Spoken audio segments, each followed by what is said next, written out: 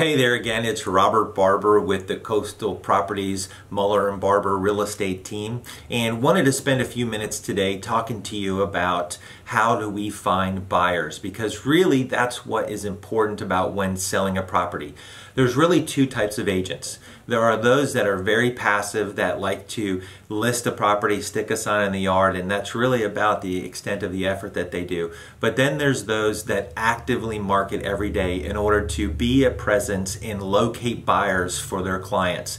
And that's more of a not list and wait model. And that's really what the Moeller and Barber real estate team prides itself on is we don't list and wait. We're actively in the market every day generating buyers through many different systems that we have and also a large marketing budget that we use to attract buyers that are looking into particular areas that we specialize in. And so we spend a lot of time on that. So it's important to find a realtor that has a good source for finding buyers, not just listing properties and waiting.